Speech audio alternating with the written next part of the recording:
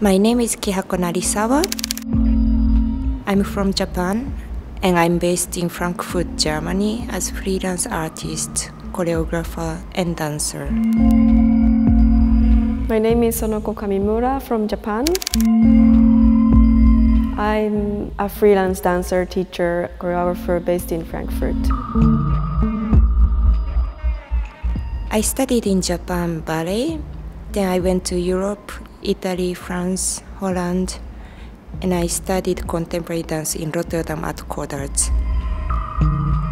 First, I started my classical ballet education in Japan. When I graduated my high school, I came to Holland.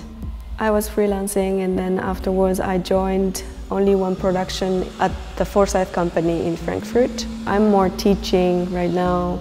I'm starting doing a movement director of like more opera production kind of experience.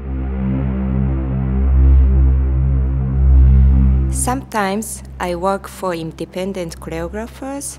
Sometimes I do my own project. Here in Montreal at Goethe Institute, I'm working on a project entitled Figurative, and I'm especially inspired by the American anthropologist Edward T. Hall, who extensively explored cross-cultural communication and anthropology of space.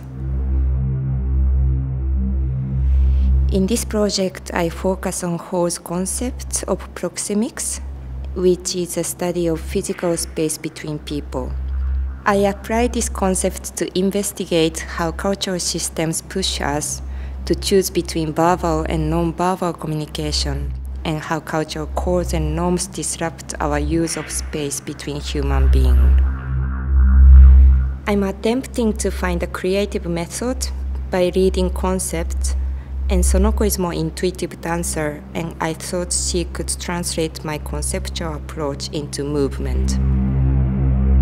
This project production came from about verbalizing what your thought and what are you thinking and what you want to speak to, tell to another person. So it was such a challenge.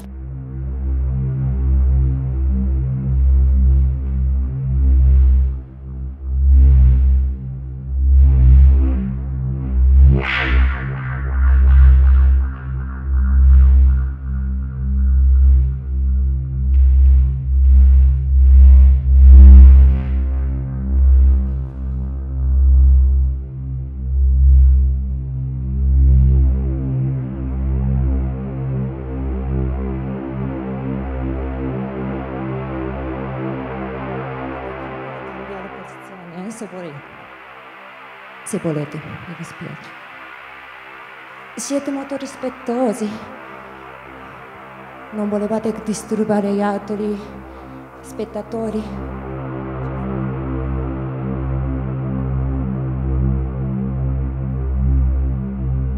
Today, my work as dancer and choreographer is more conceptual than physical. Often as dancer, we follow the structure the choreographer asks us to do. In my own project, I feel more personal.